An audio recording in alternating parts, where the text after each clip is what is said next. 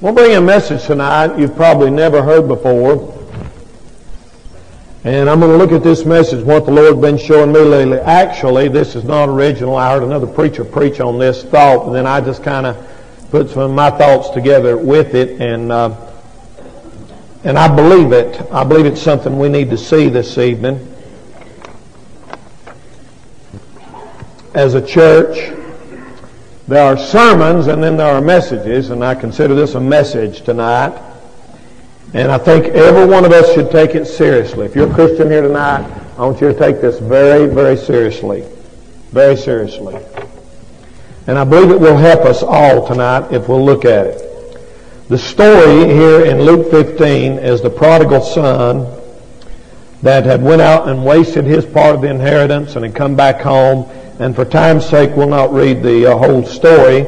Uh, we're going to focus on the situation when the boy got home now in verse number 25. Look at verse number 25. Now his elder son, that's the man here in the story, was in the field. And as he came down, as he came and drew nigh to the house, he heard music and dancing. And he called one of the servants and asked what these things meant. And he said unto them, unto him, Thy brother is come, and thy father has killed the fatted calf, because he hath received him safe and sound. And he, this is the older brother, was angry. He got mad and would not go in. Therefore his, came his father out and entreated him. And he answering said to his father, Lo, these many years do I serve thee, neither transgressed I at any time thy commandments. And yet thou never gavest me a kid, made a supper for him, that I might make merry with my friends. But as soon as this thy son was come, which hath devoured thy living with us, thou hast killed for him the fatted calf. And he said unto him, Son, thou art ever with me, and all that I have is thine. It was meat, now notice that word meat, that we should make merry and be glad. For this thy brother was dead and is alive again, and was lost and is found. I don't want to preach to you tonight, and you've got to listen carefully and hold your Bibles open because we'll turn into some scriptures on the subject when God doesn't seem fair. When God doesn't seem fair. There's a spirit that's killing us in churches in America today, and it's hurting us, and it's called the spirit of fairness. Everywhere you go, people say, this isn't fair. Well, that isn't fair. Your kids say it. Don't your kids say it all the time? One of them gets something. It's not fair. They got to go. I, I didn't get to go. Um, you buy one something at the store. It's not fair. She got a candy bar. I didn't get it. How come I didn't get one? Employees say it to their employees. It's not fair. She got a promotion. I didn't get a promotion. Christians say it to each other. It's not fair. It's just not fair. What I want to do is bring you a truth tonight from the Bible. Don't get up and walk out when I say I want to get ready to say I'm going to prove what I'm going to show you tonight. God is not always fair. And you better thank Him that He's not. Now you listen to me tonight. Uh, this truth has really got a hold of me, and this is for our church at this particular time. Everybody in our church needs to hear this message. Now, I'm, I'm, I'm certain you understand what I'm saying tonight. I'm certainly not saying God does anything wrong. But I'm saying the spirit of fairness is not the way God works. God don't work in what me and you call the spirit of fairness. As a matter of fact, when a Christian gets the spirit of fairness in them, they are getting in trouble. The younger brother had gone off and wasted everything he had. He come home. The father was so glad to see him, was merciful, wrapped his arm around him, threw him a big party, made a big fuss of him. The elder brother got real angry. You know what he was saying? That ain't fair. You're not treating, uh, you never done this for me, and I've been here all these years. I've served you from all my life. You've never thrown a big shindig for him. He goes off and does that. It's just not fair what he's doing. He was accusing the father of being unfair. Now, we've got a big problem. In our mind, we see things the way we think they should be fair. And if you'll be honest with me tonight, every one of us from time to time will play to this well, it's not fair. It's just not fair. Uh, we see it different. We know that Cain started this off way back in the Old Testament when he became a fugitive and God punished him. And you know what Cain said? Cain said, my punishment is greater than I can bear. He said, this ain't fair. You're giving, you're, you're being too hard on me. It's just not fair. Korah did it with Moses in the Old Testament when he said it's not fair. God speaks to people other than you, Moses. You think you're the only one God ever speaks to? He's just as real to us as he is to you. It's not fair what you're doing. Joseph's brothers said it to his father when they come in and said, you're not treating us like you treat him. You're real good to him and not good to us. It's just not fair. Job's wife in the Old Testament set Job down and said, Job, you've tried to serve God. You've lived right. You've done everything you know to do that's right. And now God's took everything you've got away from you. It's just not right. God's not done you right, Job. God's not being fair to you. Curse him and die. The atmosphere of our religious tenure today is that we think, listen to me, we think that God has to be fair all the time according to our standards of fairness. But that kind of spirit is an incubator for bitterness. That kind of spirit is an incubator for jealousy. That kind of spirit is an incubator for hatred. And that kind of spirit is an incubator for contempt. And all of that is brewed in what we call here tonight the spirit of fairness. He, this older brother, uh, we would call him a party pooper. Uh, he can't control what his father's doing, and he's mad about it. He wants the handcuffs put on the, the rebellious brother. He don't want uh, a, a party. He, his ways, uh, we've got to remember, are not always. God don't always do things the way me and you think they should be done. Have you ever thought uh, somebody done something real bad to you done, done you wrong and you thought, God, get them for that. And then God don't get them do nothing. God just blesses them. And deep down inside you think, now something ain't right here somewhere. Why don't God do this? Or why don't God do that? I'm saying you tonight, God don't always operate in what me and you call the spirit of fairness.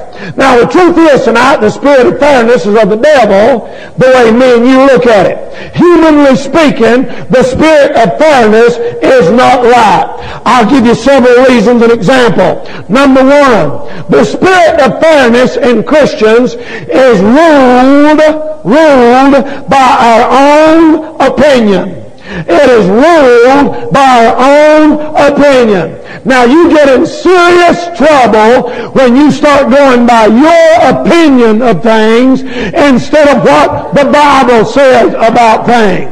You know what he done? He come in and he said, Daddy, it's not right what you're doing for this boy. This boy don't deserve no party. This boy don't deserve. It's, you, you're doing wrong. He was actually accusing the father of doing wrong. That was his opinion. He had his opinion. He had a right to it. But it was the spirit of fairness that ruled his opinion. You know what he said? He said, I've done right and uh, he said, I feel like that my opinion is the standard for the Father's judgment. And he said, it's my personal opinion, uh, and the rule that, uh, and it robs us of our joy. That boy could have been in there enjoying the party, getting a blessing, having a good time, rejoicing with his friend, but the spirit of fairness in his mind ruined his joy because the father didn't handle the situation like he thought it should be handled. Amen? Are you listening to me? I get Chris a something for her birthday. Corey says, do I get something? I say, no. She says, why? I say, because it ain't your birthday. It's not fair. Yes, it is fair. I'm the father. I decide what's fair. The children don't decide what's fair. The father decides what's fair. The spirit of fairness in Christians is ruled by their own opinion. He gets to do something you don't get to do. Your brother gets to go somewhere you don't get to go. He gets to go out and play. You have to stay and mow the grass. You say it's not fair. Mom and daddy's not being fair. You teenagers are the worst in the world for this sometimes. You say it's not fair. Uh, uh, you know, I had to clean up the kitchen yesterday. Well, it's her turn tomorrow. Yeah, but I, there was more dishes than there was yesterday. It's not fair. Mama says, I'll say what you do here and what you don't do here. The spirit of fairness is a wicked spirit that's ruled by our own opinion. Now, let me say something about God tonight. I'm scared of God. I fear God. I believe it's right to fear God, and I believe you're crazy if you don't fear God. I am in God's hands tonight. And whatever God chooses to do with me is God's business and God's and, and God's plan. And I or you or nobody else cannot put handcuffs on God Almighty. We can't do it. If He does something we don't think's right, we just got to live with it. That's all there are to it. He don't always operate according to what we think is fair. Number two, the spirit of fairness is revealed in the need to try to control the uncontrollable. In other words, um, he was mad because his daddy was loving the prodigal son, and he was just mad as fire about it.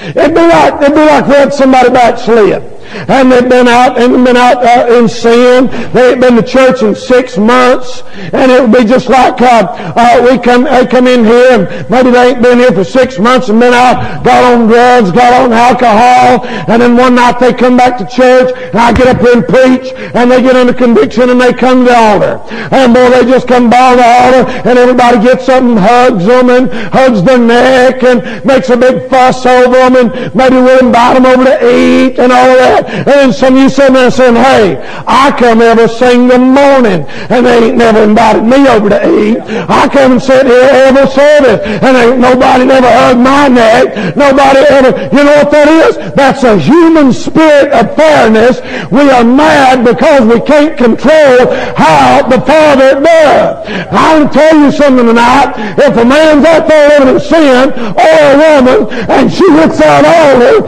and she repents and she gets right with God, however God deals with her and however God deals with him is absolutely none of mine and your business. And it doesn't matter if it seems fair to us or not. That's the Father's job, how he treats that individual. He's mad because his dad was loving the poor. Let me, let me just tell you something. Me and my wife have been studying church history together. And I went through a book on William Carey, and then me and her one on David Livingstone, who was a missionary to Africa. And then we got a video out of the bookstore the other night, which all I recommend all you families get those church history videos and watch them, husband and wives together, on the missionary or the great uh, man of God, John Huss. John Huss was a man that loved God and stood for the truth. He was in the, in the, in the Catholic Church as a priest and he saw the truth that God only justified a man by grace through faith. He said, faith in God makes me right with him. The Mass didn't make him right. Confession didn't make him right. Confirmation didn't make him right. Uh, good works didn't make him right. Only by faith in Jesus Christ. This was in the dark ages when they would burn you at the stake for heresy. And John Huss was brought in before what they call the, the hierarchy and, and the cardinals and the, and the king, and they brought him in there and they accused him of everything. And John Huss didn't even get to defend himself. He never got to tell his side of the story. He wasn't allowed to speak up. And God sat in heaven and watched them condemn him, and he was in the right. And they put up a bunch of stakes like this, and they put up like corn stalks, and they had him on a big old stake, and they put a chain around his neck, cause a rope would burn. And they put him up there like this, and John Huss said, Jesus, thou son of David, have mercy on me. And the torches lit those bottom of those white corn husks, and they burned him alive. And but all he did was stand for the truth. Does that seem fair? No, it don't. Don't seem fair, does it? If me and you would have been running the show, we would have said, let him tell his side. Let the man go. He's preached the truth. He's innocent. Give him a chance. But they, no, God let him be burned. God allowed it. William Carey took his wife and kids and sailed down a boat into India in the 1700s. He became the father of what's called the modern missionary movement. Listen, I'm talking to you about a man named William Carey who had gone where no man had ever gone before and went for one reason, to preach the gospel. They said when you got there you'd get so sick that you couldn't stand it. You get dysentery. That's diarrhea so bad that many people die from it. You have headaches and vomiting and fever, and most people can never live in a country like that. They sailed down the river. His wife wouldn't even go with him. And she, they tried and tried to talk her into going. And he said, God has called me. I've got to go. And she said, I'm not leaving. I'm staying here. And he said, I've got to go. God's called me to go. And finally they talked her into going, and she went with her husband, and they got down there on the mission field, and they moved into India, and they were treated terrible, and they had kids, and one of his boys died, and his boys stayed sick, and all he was doing was trying to do right. All he was doing was trying to preach the gospel. And his wife, uh, his wife lost her mind. Little by little, she went crazy. Every time he'd go out the door, she would accuse him of things, and saying he was lying to her. And she'd scream. And they didn't have asylums to put him in in those days. And they had to lock his wife in a room. And she'd stay in there kicking the walls and beating on the walls, screaming. I'm talking about for years and years while he sat in there and to translate the Bible into the language where them people could understand it. I'm telling you tonight, the Christian life, it don't always seem fair. You say, Brother Danny, this ain't ain't fair. What we're having to go through, it just don't seem fair. It's always been like that in church history. But God used William Carey to inspire what we call the modern day missionary movement. His wife finally died. And he went on and stayed there and became a great work for God. And it spread and thousands of people were saved because of his work.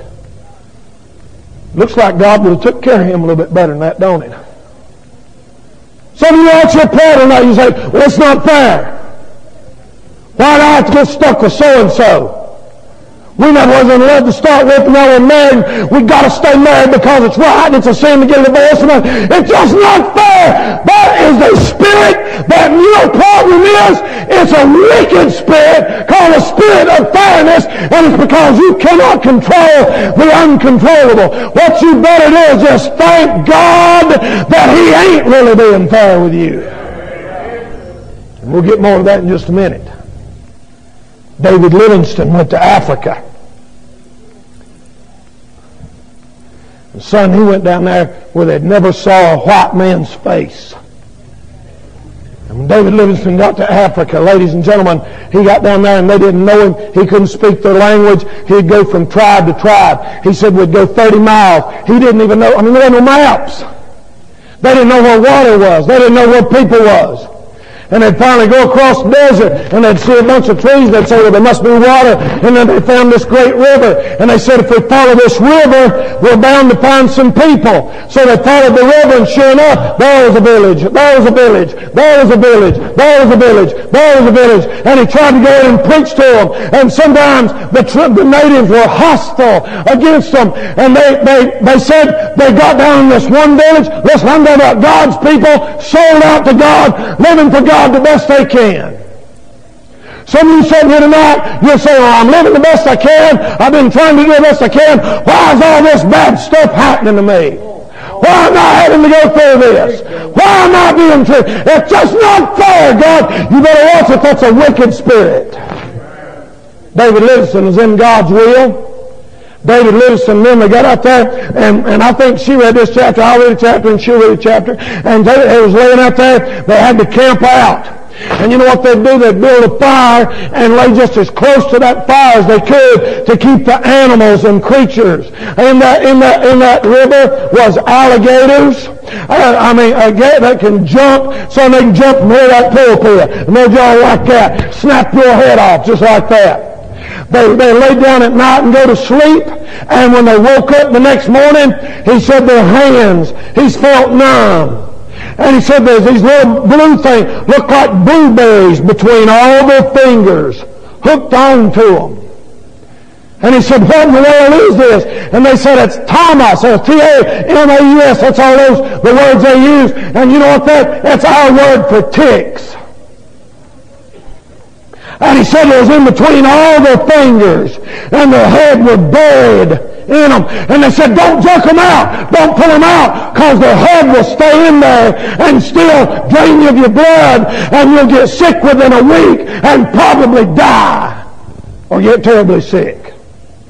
I'm not about somebody trying to live for God, giving up their comforts of home, living for God, sold out to God, giving it all to God. You what's the us American Christians? The least little bit of problem, we flip our lid. The least little bit of problem, we're ready to quit. The least little bit of problem, we're ready to throw in the towel. Brother, the spirit of fairness is a wicked spirit. Ever since Adam and Eve sinned, there ain't nothing been fair down here.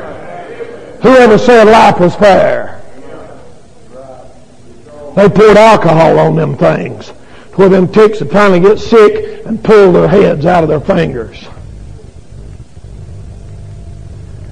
And they said they got them snakes over there in Africa. Some of them they call them one steppers and two steppers and three steppers. That means if one of them bites you, you take two steps before you're dead.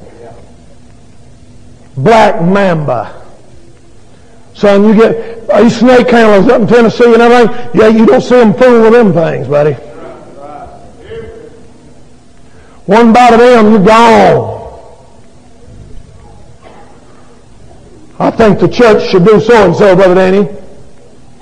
You better watch it. Because the spirit of fairness reveals the need to control the uncontrollable. One of our great ladies of our church made a statement. I'm not going to name her name.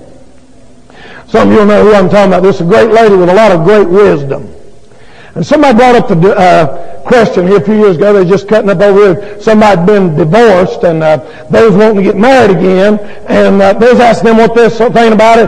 And they said, "Well, well, uh, what do you think about that?" And uh, they said, "What do you think about that person getting married again after being?" And this great lady, who I have great respect for and a lot of great wisdom, turned around and said, uh, "I don't think it's fair for nobody to have two, but we all have one." I'll not call no names. That's what we call the spirit of fairness. Amen. Hey, listen, I've been pastor here 21 years. It ain't always been fair. You say, Brother Bernie, I got to shout. So have I. We all do. Well, that's life. It don't always have to be fair according to our eyes. Let God be God. Let God do what God's going to do. Let God run his show. Let God decide how to bless, and you'll be a whole lot better off. You won't be the elder brother out pouting while the others enjoying the party. Amen. Amen. Um, I think uh, somebody told me there's no our school's starting in a few weeks. Listen to me. There is no way under God's heaven everybody's going to be satisfied. You might as well brace yourself right now. We ain't going to have school that everybody's going to be satisfied. You say, well, I want my kids out there. Well, we'll do everything we can. I know that man there, his wife, our, staff, we're committed to do everything we can to make our school the best we can possibly make it. When you say, well, it's not fair, it's, it's not fair, it's not fair, you better just leave it up to God. Let God run. We'll do the best we can to serve God and just enjoy it the best you can. I say this to some, somebody's mad at me anyway. I'd, I'd put my school, I'd, put my kid in a Christian school where they at least taught about God, even where it wasn't perfect. Before I'd put them in a school that teaches them they come from monkeys. And will, hey, you said, I, at one point we got mad and said, well, preaching this stuff. Well, at least I repented and got right. They'll allow lesbians to teach and not even change the lifestyle. Amen. Preach it, brother. Hey, life ain't always fair, but let the Father do what the Father's going to do. You know, one man uh, I was talking to recently, and I was talking to somebody. Well, I talked to one of our teachers. And there's, uh, as of now, there's been no teachers settled as far as grades, and all we're going to know that in the next couple of weeks. Like there's a who's in the teacher. We'll let you know when we know. But uh, one teacher spoke to me and had this attitude.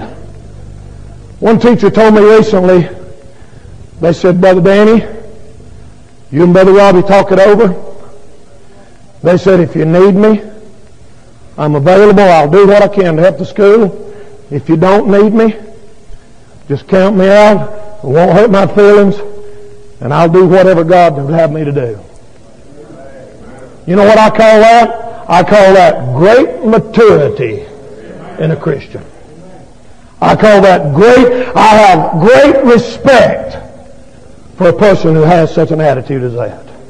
I knew a lady in the church down the road, I won't name what church, she got mad one time because they wasn't going to let her teach her Sunday school class and she didn't get the class she wanted to teach, and she got mad. She said, well, I'll just quit the church if I don't get to teach the class that I want to teach. That lady shouldn't be teaching class. She should be in the nursery sucking a bottle. Amen? Amen. Listen, brother, you got to realize the spirit of fairness is ruled by a person who wants to control the uncontrollable. You know what this thing done to me here in the last few weeks? I've given our church to God more than I ever had before. I always thought like, felt like, boy, I've got to do this. And I got, you know what I found out? I can't straighten nobody out. I can't do nothing. All I can do is be right with God. All I can do is have my heart clean. All I can do is do my best to live for Him. And whether it's His church, He'll take care of it. He'll take care of it. He'll watch over it. And if we'll all get that attitude and just let the Father do what the Father wants to do, everything will be all right, and we'll rejoice at His house one of these days. Let's, let's uh, divert from our story of the prodigal son in just a minute, and let me show you this truth in Matthew chapter 20. Matthew chapter 20. Let me show you how God in the Bible is not always fair. Matthew chapter 20. I didn't say God sinned. I said God isn't always fair, and you better thank God for it. Matthew chapter 20. I've always wondered about this myself. I'll show you a place in Matthew 20. You tell me if you think this is fair.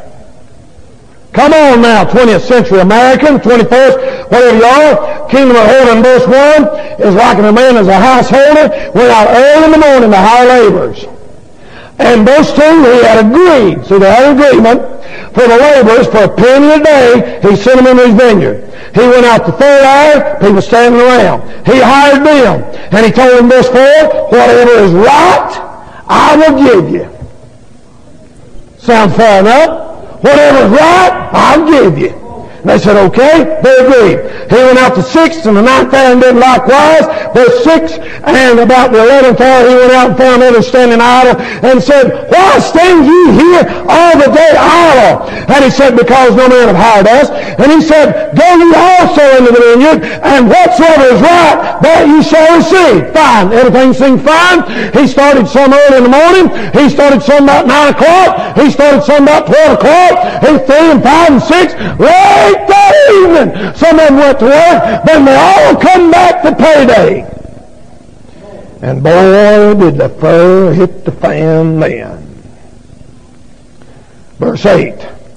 So when even was come, the Lord of the vineyard saith his steward, Call the laborers and give them their hire, beginning from the last to the first. And when they were come, they that were hired about the eleventh hour, they received every man a penny. But when the first came, they supposed. Remember what I said a minute ago about your opinion, and I think I, it should be this way, and I. They said, now wait a minute here. Hold right here. They supposed that they should receive more, and they likewise received every man a penny. Look here, verse 11. And when they had received it, what did they do? They murmured against the goodman of the house. They went over to one of them's houses that evening and said, He's not fair. This ain't right. I don't care what anybody says, this ain't right. I worked all day long, and all he paid me was a penny. Them sorry bums come in, and they worked an hour, and he gave them a penny. It ain't fair. To be honest with you, if I read that story in any other book beside the Bible, I'd say the same thing. That ain't fair. I say, I don't think it's fair. Do you? You, are scared to say no because you think you're going, but deep down inside, does that sound fair? No, it don't, does it? Does it? You're scared, still scared. You see, you're thinking you're blaspheme or something. If you, uh, uh, the truth is, that man agreed to pay him a penny. That was the agreement made. As God does something, we don't always think fair. But God, He makes the rules. God's done some things before, oh, or I thought, now why didn't you do that, Lord? I prayed for this and this and this and this, and, it, and deep down inside, I said, something don't seem right about this. They murmured against the goodman of the house, saying, these guys didn't work but one hour, and you have made them equal to us. And he said in verse 10, verse 13, friend, I do thee no wrong. They want to control by their own personal opinion. They murmured against the goodman of the house. Don't sound fair to me, but they're the ones agreed for the penny. At the dinner table, they talked to their relatives and kids about it. Their kids grew up hating that man. He's never done my daddy wrong. He made him work all day long and didn't give him a penny. And these other dudes come in once an hour and they got a penny too. I don't like that man. Did you know did you know I can tell in the church, and I'm not talking about just our recent situation. I'm talking about for 20 years, I can tell the people in the church that don't like me because their kids' attitude toward me. Your kids' attitude toward me is always your attitude toward me oh, because the kids hear the parents talk. And the kids pick up the spirit and the attitude from the kids or from the parents. If the parents respect God and the parents believe the Bible and the parents respect, it's the same way the school and the teacher. If you'll back up and support that school teacher and that principal and that administrator, your kids will. But if you're dumb enough to sit around the dinner table and criticize the faculty, you need to ask God to get that spirit of fairness out of you and say, God, help me with that. Things don't always seem fair. You say, what are we going to do? Live with it. Or kill yourself. Take your choice. And I'm not telling you to do that. I'm saying that's the only two choices you've got. Life ain't always fair. Isn't it strange that the kids have the same attitude as the parents? I think, uh, this is off the message, but I think you are very unwise, unspiritual, and about half nuts to sit around and criticize the people you go to church with or your church in front of your children. Man, how dumb can you get? I mean, if, me if we got a problem with our kids in school, me and my wife will talk it over, and I'll talk it over with their teacher or their administrator, and my kids will never hear a word out of it from me. Amen? That's the spirit of fairness. You say, well, I don't think I'm getting what I deserve. Let's turn to Luke chapter 3 and let me show you another verse and then we'll get back to our story. Luke chapter number 3. Luke chapter 3, let me show you something. This is for all you adults. Some of you are miserable all the time because you think you don't make enough money. You gripe all the time because you've been at the factory along with that other fellow has, and he's making more money than you are, or he got a promotion that you didn't get, and some of you make yourself miserable because you don't make enough money according to your opinion. According to yourself, you just don't make enough money, do you? Let me show you what John the Baptist told them guys to get ready for Jesus. John the Baptist, Luke chapter 3 and verse number 14. And the soldiers also demanded of him, saying, And what shall we do? And he said, Do violence to no man, neither accuse any falsely, and what? Be content with your wages. Ugh. That's one of them rough ones, ain't it? Did you know you're supposed to just sit home and think, I just thank God that I'm making the money that I'm making. You ought to see the looks on people's faces in here tonight. Some of y'all sitting there going, no, no, no. I deserve more. I deserve more. I should make more money. They're not paying me enough. They're not paying me enough. Hey man, you know what that is? That's that spirit of fairness that older brother had, and it's not of God. The Bible said, be content with your wages. Thank God you're getting more than you deserve. Sure you are. You see how you make yourself miserable when you let the spirit of fairness rule your life? You're making yourself miserable. Sitting around griping ain't going to put a penny in your pocket. Sitting around griping ain't going to get you a raise. So I only make three hundred dollars. I think we ought to make more. I think we ought to make more. You know how much you got in your pocket? Three hundred dollars. You know what you better do? Lord, I probably don't deserve this, and thank you for this, and I appreciate it, and I know it ain't much, and help me to do better, and give me another better job if it ain't, if it's you will, but if it ain't, I'm gonna be content with what you give me. Not only that, number three, the spirit of fairness is a selfish desire to compare yourself with somebody else. He's comparing him to his other brother. You know what he said? He said, I've served you all these years. Oh, listen at him now. Listen to him. And never have at any time transgressed thy commandment. Lord have mercy, getting a little self-righteous, ain't we? Did you hear what that boy said? He said, I've been here all these years and I ain't never done nothing wrong against you, Daddy. You believe that? I don't. That's the spirit of fairness. When you start thinking, well, old so-and-so over there living like a devil, I've never done nothing wrong. You're the one's full of the devil. Amen? Amen. Amen. I'm telling you that it breeds criticism. It is wrong. He said, I've served you all these years and I have never transgressed thy commandment. I don't believe for a second that boy lived all them years and never transgressed his father's commandment.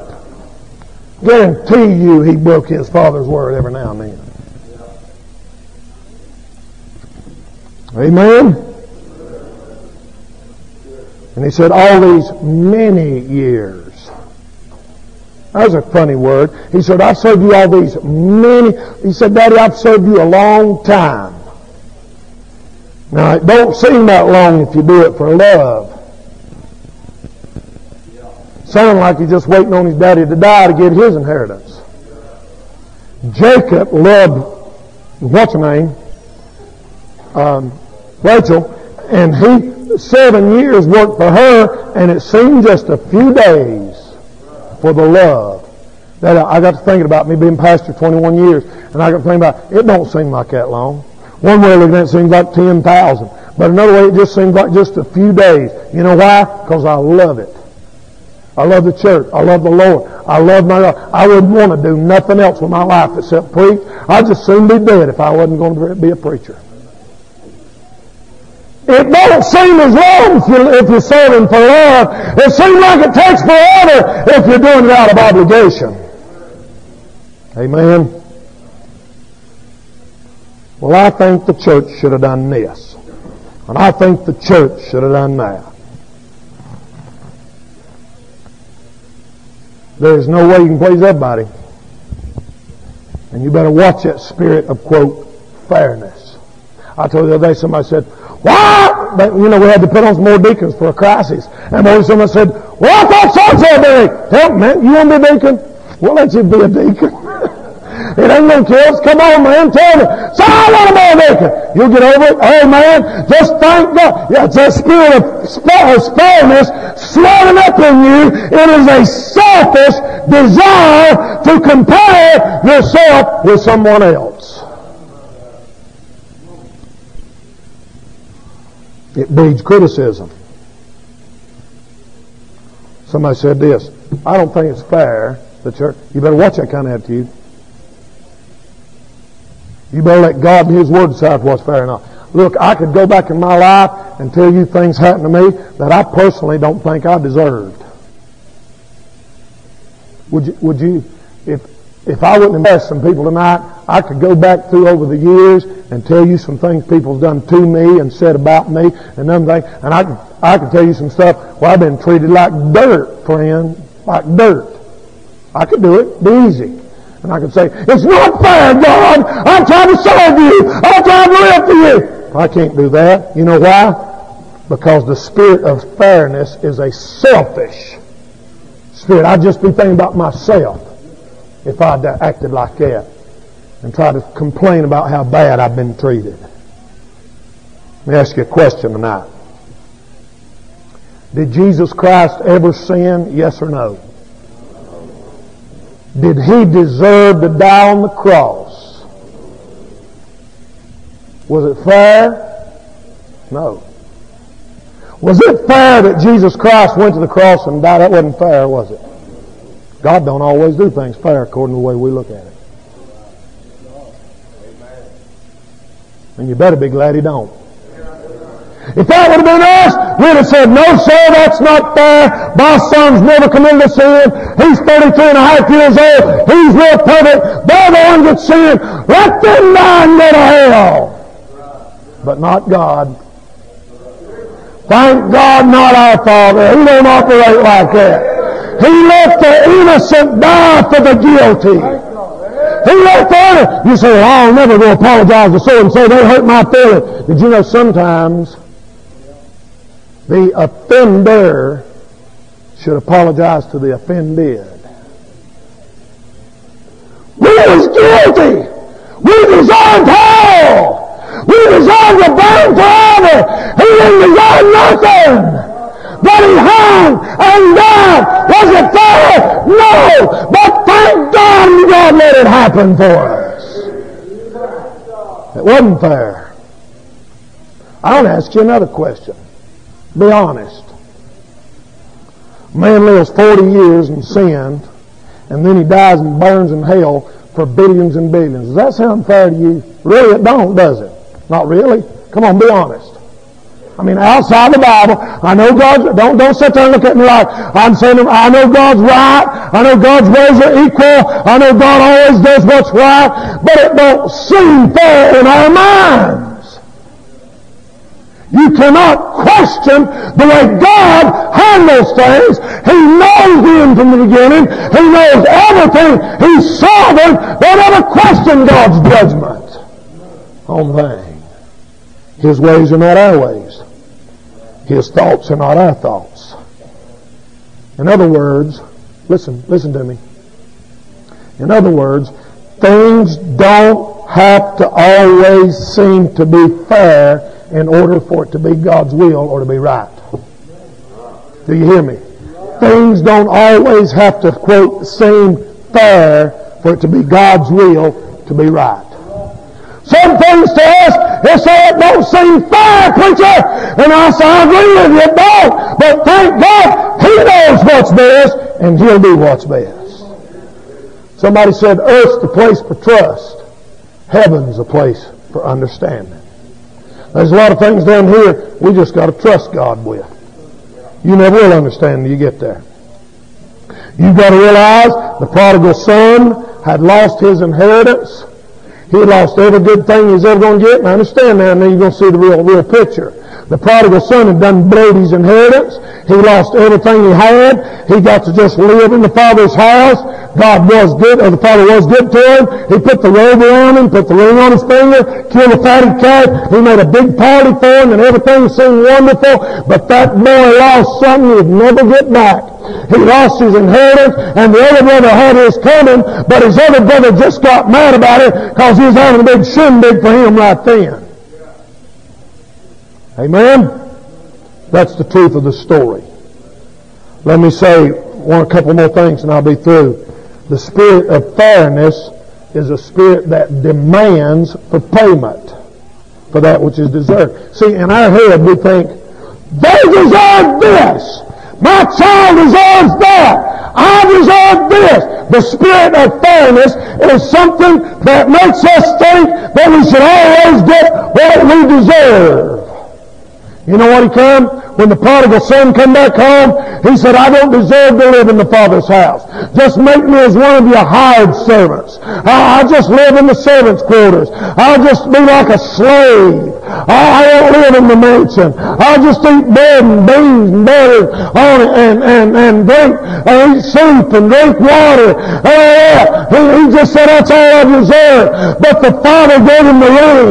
The Father gave him the robe. The Father gave him the fatted calf. The Father gave him much, much, much more than he deserved. And I want to say to you tonight, listen, we're getting much, much, much, much more than we deserve. Somebody told me the other day, he said, you don't deserve the pay. I said, you're absolutely right. I just don't. You don't deserve it. You to sit in the church neither. Thank God He's blessed us so much that He gives us more than what we deserve. Let me ask you a question.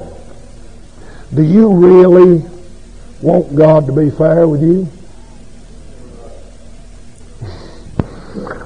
I don't think you do. Oh, I don't think you do. The secret of serving God is to come to God asking, expecting no special treatment, no special blessings. And just say, God, how, whatever you can do for me and give me, I sure would appreciate it. Don't ever come to God like, I deserve this. The elder brother said, I've served you all these years and I deserve a party. You give a party for the younger brother and he's been out living like a devil and you give him a big party and I don't get no party. Don't ever come to God with an attitude like, I deserve better than this. The way to serve God is you come to God and you say, God, I don't deserve one bit of. I'm going to be honest with you a minute and I'm through. When you have that spirit of fairness, you limit God and what He wants to do. You limit God in what He wants to do. Listen to me. Everybody listen?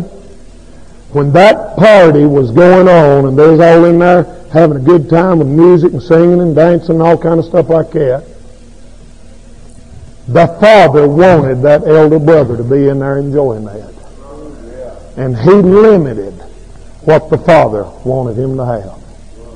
A lot of people get cheated. You listen?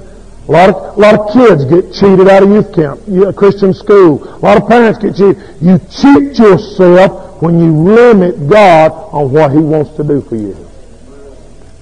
He said, come on in, enjoy the party. No, I'm not going to do it. It's not fair. What do it's not fair? Well, he's been out living like a devil and you a party. Come on in, man. Get steak. Get you some, uh, get you a hamburger. Get you some french fries. Get you a piece of cake. Enjoy the party. Nope. Not fair. The spirit of fairness limits what the Father wants to do for you. His mercies are new every morning. Thank God. He's not always fair with us. I want to show you a verse of Scripture. I believe it's in Ezekiel. If you'll look over there just in a second, and I'm closing. Good night. I don't know where it's at in Ezekiel. I think I marked it. Yeah, Ezekiel chapter 18. If you'll look at this, I'll be through.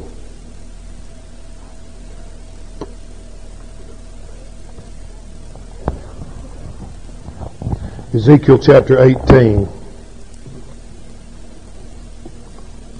What I'm saying to you tonight is things don't always have to be fair. In your eyes, in my eyes. God's done some things sometimes I thought, well, that's not fair. It's just not fair. And you know who winds up getting cheated? I do. You let God do what God's going to do, and then He'll bless you and you'll get in on the party. Ezekiel 18, 25, and I'll read this and I'm through. Yet ye say, these people said, the way of the Lord is not equal. They said, this ain't right, God. The way you're doing it, you're not handling this right. Hear now, O house of Israel, is not my way equal? Are not your ways unequal? When a righteous man turneth away from his righteousness and committeth iniquity and dieth in them, for his iniquity that he hath done shall he die. Again, when that wicked man turneth away from his wickedness, that which he hath committed, and doeth that which is lawful and right, he shall save his soul alive. Because he considereth and turneth away from all his transgression that he hath committed, he shall surely live. He shall not die. Yet saith the house of Israel, the way of the Lord is not equal. Oh, house of Israel, are not my ways equal? Are not your ways unequal? Therefore I will judge you, O house of Israel, every one of you according to his way, saith the Lord. Repent and turn yourselves from all your transgressions, so his iniquity will not be your ruin. Cast away from you all your transgression, whereby you have transgressed to make a new heart and new spirit. For why will you die, O house of Israel? For I have no pleasure in the death of him that dies, saith the Lord God. Wherefore turn yourselves and live. God saying, I don't want you to die. I don't want you to run your life in sin. I want to have mercy on you and I want to bless you and I want to give you what you don't deserve. Mercy. Mercy. The spirit of fairness will get you in trouble. You say, it's not fair. You better thank God it ain't. You better say, God, I don't want what I deserve. I want your mercy. Because the spirit of fairness. I got my Strong's Concordance and checked every place in the King James Bible, and the word fair is not mentioned one time in connection in the context that I've used it tonight. Every time the word fair is mentioned in the Bible, it's talking about the other way of using fair, like uh, the sons, the daughters of Job were fair, uh, uh, pretty, or this, he was uh, a fair countenance, that kind of fair. There is not one place in the King James Bible where the word fair is mentioned like we say, it's not fair. That's not fair. That's not fair. That ain't a doctrine of the Bible, and you better thank God it ain't. You don't serve God because of fairness. You serve Him because of His mercy and His love. Let's stand with our heads bowed.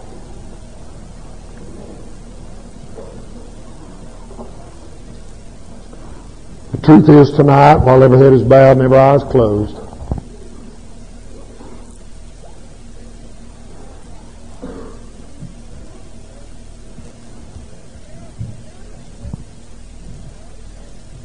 the Truth is tonight, while every head is bowed and every eye closed, let's say, God, your will be done. You say, well, my husband's not treating me fair. You better watch that kind of attitude. My mom and daddy's not fair, Brother Danny. They won't let me go. Other people get to go out and stay out till 11 o'clock, and they won't let me date, and my mama won't let me go there. Teenager, you better watch that attitude. That spirit of fairness is not of the right spirit. You better let mom and daddy make those decisions and respect those decisions.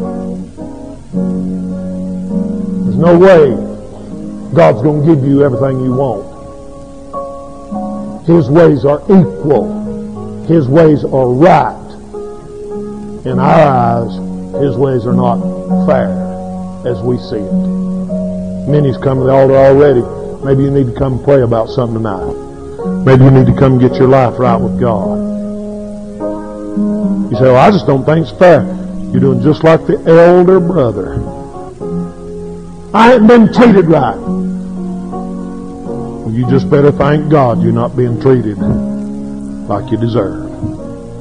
We're nothing but a bunch of sinners saved by His grace. God, have mercy on us tonight. God, we know that if it were not for your mercy, that we'd all be in hell or on our way. Please, please, please, in Jesus' name, have mercy on New Manna Baptist Church, on this poor preacher, on our school, on our camp, Please shed mercy on us, O God. We're not asking for what's fair in our eyes. We're asking for mercy. We want to join in on whatever you decide to do. We want to be a part of the moving of your Spirit. Don't let us be stubborn or selfish or demand our own way or things don't always have to go the way we want them to. God, take that spirit out of us. Lord, in our bus workers, in our Sunday school teachers, in our workers, in our school, in our church, in our choir, in our, our in any, any part of our church, Lord. Help us to get to the point where we say, may your will be done and trust you. In Jesus' name we pray. Amen. Let's sing, girl. Amen. You come if you need to come. Come on right now.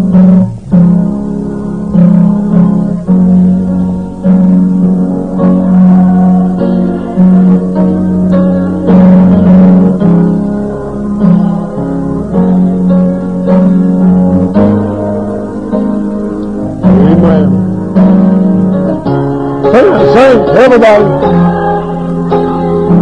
You protect